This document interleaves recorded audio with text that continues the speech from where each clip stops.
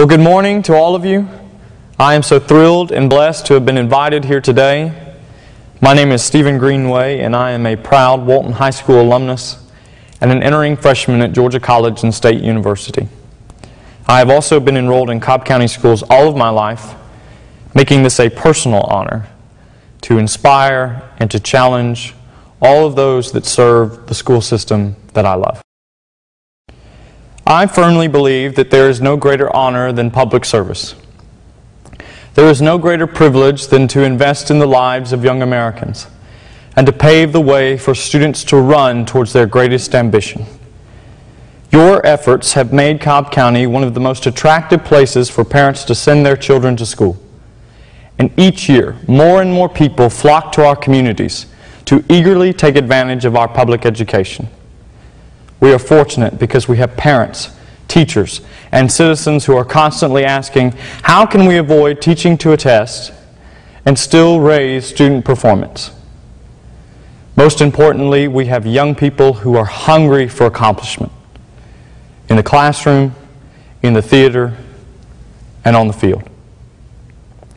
Now, don't be mistaken, we young learners grasp how challenging these past few years have been. And we realize that it would be easy to just try and wait it out, hoping that things get better in a few months or a few years. But my age group does not have that luxury. This is our economy, our job market, and our America. We cannot afford to settle for less when it comes to our education or our job training. We must be prepared. Because of the fiscal irresponsibility and political inaction of our time, we are well aware that our generation will face unprecedented challenges. And at our young age, we are committed to meeting these problems with solutions. Yes, it is true. This is another year of uncertainty, whether it be budgetary constraints or increasing class sizes.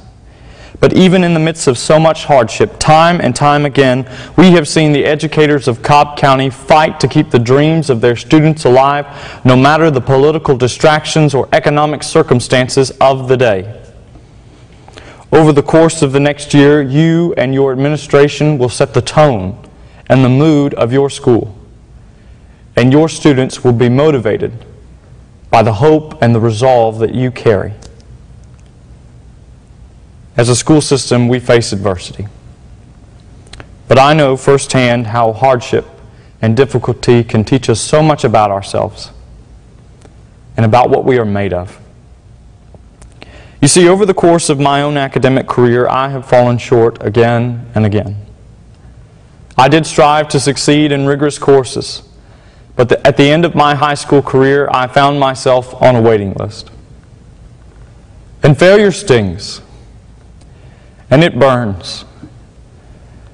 And when I was lost and without faith in my own abilities, my teachers and my administrators would tell me this Stephen, no matter how defeated you feel, this is who you are. Keep going, keep moving, keep believing. Ladies and gentlemen, every student needs to hear and to trust those words. Every student needs to believe that no matter what uphill battles are, are being fought at home or in the classroom, a grade or a score cannot be put on their worth. It means so much to be looked in the eye, to have a hand placed on a shoulder, and to be told that we matter and that our future matters. And oh, how many countless lives that you have touched because of the compassion and the encouragement that you have displayed to so many of my peers that have felt crushed by the system and saw giving up as the only way out. Our mission is to empower those students who are without clear direction or obvious ambition. As students, we need not an easy road to victory, but the tools required to bridge the gap between our goals and our future accomplishments.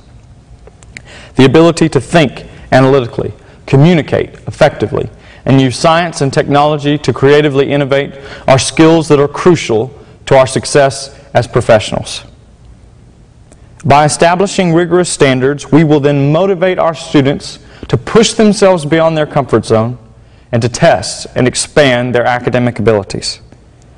As students, we must own our education. Our grades should not be given to us, we must earn them. The doors can be opened, opportunities can be provided, and skills can be obtained, but at the end of the day, we have to be expected to walk through the door ourselves.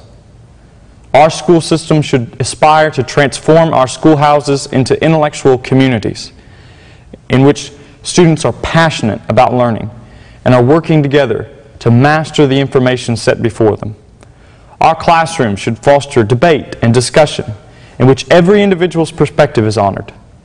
An emphasis on integrity is also required, and we too often forget this one. But accomplishment built upon dishonesty will not stand. But men and women of good character typically persevere through any academic hardship. In summary, this kind of academic environment transcends but does not exclude scores and grades, and instead focuses on meeting students where they are, building skills, and solving problems thereby empowering our students to become life learners, team players, and outstanding citizens. In closing, I would like to tell a quick story about two young students that I met while I was serving in southern Africa this past June. I was walking along a dirt road and with a group, and we saw this young man pedaling towards us on a small bicycle, and we greeted him in the native tongue. And he stopped by and he said hello to us, and with the assistance of a translator, we asked him his name and where he was headed. And he said he's coming home from secondary school. And we were like, oh, that's great. You know, where, where are you going? Where, I mean, what are, you, what are you studying to be?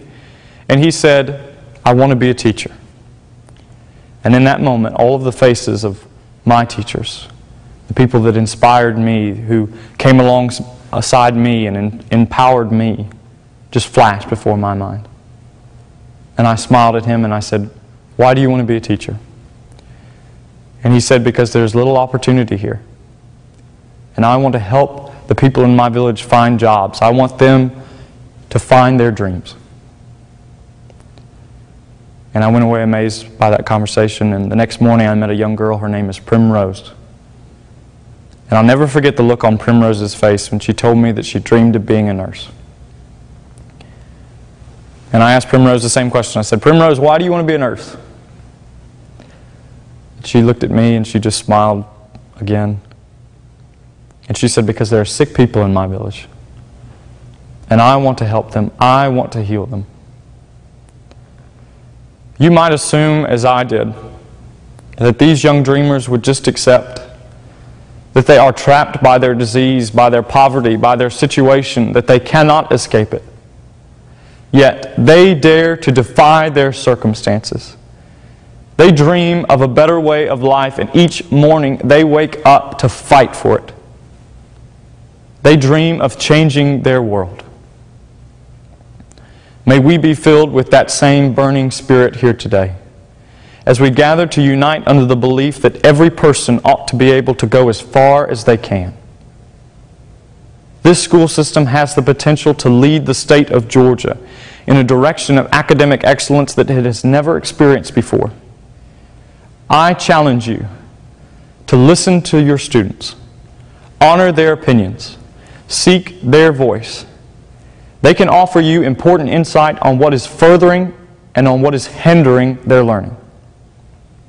Let us not leave here today with rhetoric on our lips, but with resolve in our hearts to make each day count, to value and to come alongside each and every child and to make the 2013 2014 school year a year in which Cobb empowers the dreams of its students so that they might become a force for good in their world. For it is the ambitions and the education of our students that are the dawn for our school systems, for our communities, and for our nation. Thank you.